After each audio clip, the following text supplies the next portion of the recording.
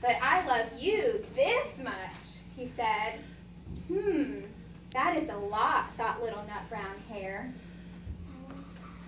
I love you as high as I can reach, said Little Nutbrown Hare. That is very high, thought Little Nut Brown Hair. I wish I had arms like that.